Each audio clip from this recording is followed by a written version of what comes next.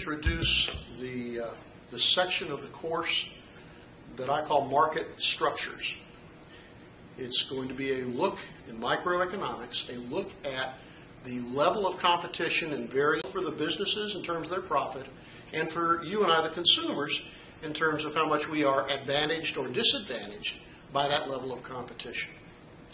Now, when we do this, we're going to look at four different market structures. Perfect competition, monopolistic competition, oligopoly, and monopoly.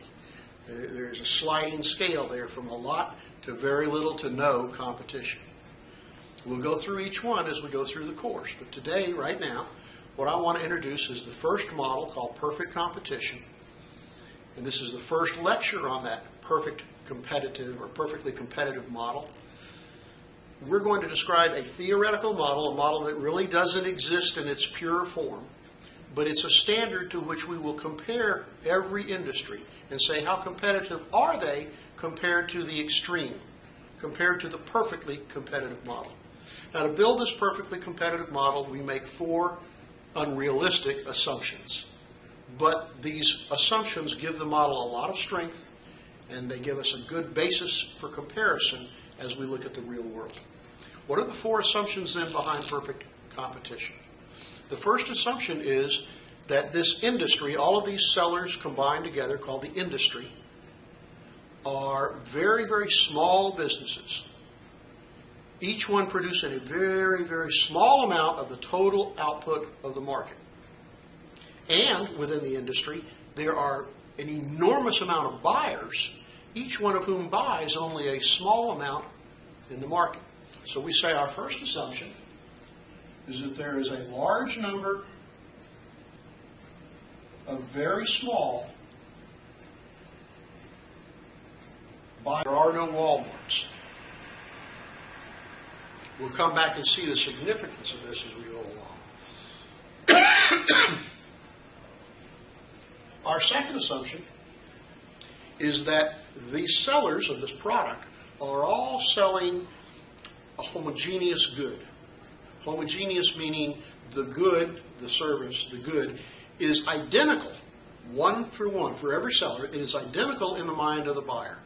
That to the buyer, uh, a gallon of milk is a gallon of milk is a gallon of milk. It doesn't matter about the brand name on it or who's selling it, that every product is identical so we say homogeneous products.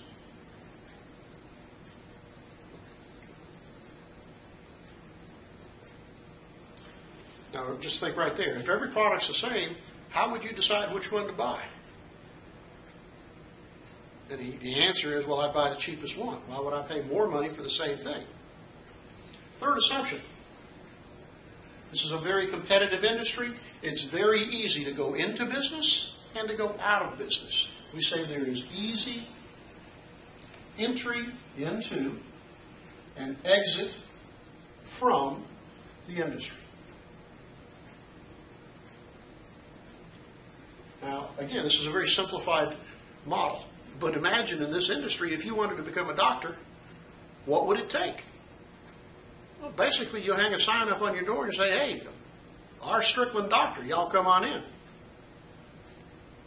Now, what would happen?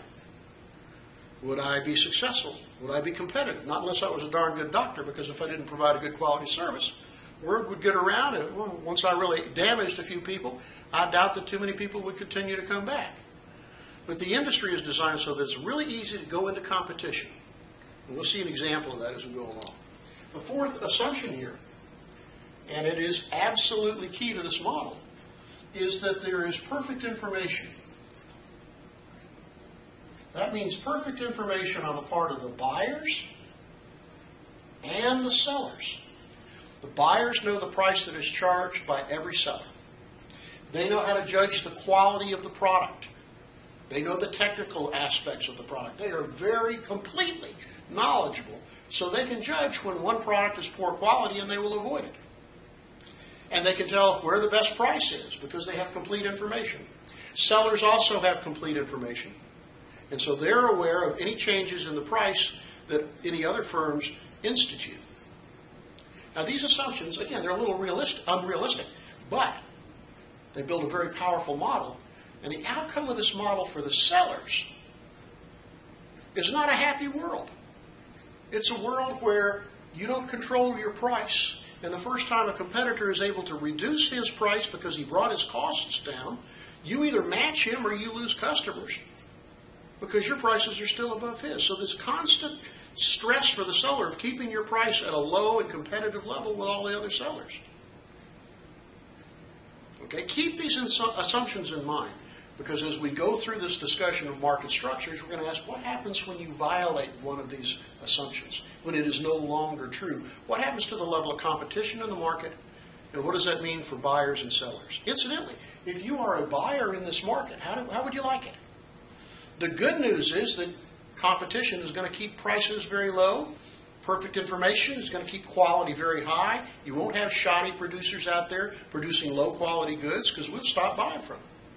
Competition is generally very good for the buyers and very difficult for the sellers. Okay? That's the first part of perfect competition, the four assumptions.